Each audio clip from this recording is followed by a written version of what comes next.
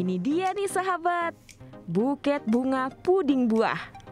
Hantaran unik yang tidak cuma cantik dilihat, tapi juga nikmat. Kreasi puding buket bunga ini dibuat seorang ibu rumah tangga asal Sidoarjo, Jawa Timur, bernama Nur Rahmawati. Ia terinspirasi membuat puding cantik ini karena bosan dengan bentuk puding yang hanya mengikuti cetakan standar. Meski desainnya terlihat rumit, cara membuat puding buket bunga ini ternyata praktis. Seperti puding lain, bahan untuk membuat puding ini adalah bubuk agar-agar, gula, susu cair, air, dan kental manis. Semua bahan ini direbus sampai mendidih, lalu cetak dengan cetakan puding berbentuk bulat dan hiasi dengan potongan buah segar. Setelah puding membentuk lingkaran, kita cetak hiasan bunganya ya. Jika semua puding sudah mengeras, waktunya menyusun jadi buket cantik. Menyusunnya harus telaten ya.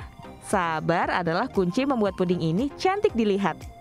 Biar makin cantik, kasih kertas hias dan pita hingga menyerupai buket bunga. Dan ini dia hasilnya. Benar-benar cantik ya. Hobi Nur Rahmawati membuat puding-puding cantik ternyata mendatangkan rupiah. Ia kini serius menekuni bisnis rumahan puding. Nur Rahmawati juga punya varian puding bunga lainnya yang tak kalah cantik, yaitu dengan memadukan puding bunga dengan hidangan lain. Misalnya, jadi hiasan salad bunga hobi buah, hobi kita nyemil-nyemil yang sehat-sehat buat sendiri, kita bagikan ke orang lain.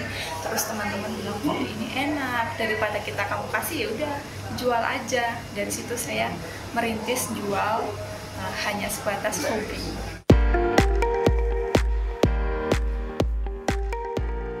Manisnya puding bunga ternyata juga bisa mendatangkan manisnya rupiah. Bahkan omset yang diperoleh Nur Rahmawati per bulannya mencapai puluhan juta rupiah loh. Wah, hebat ya. Dari hobi jadi hoki.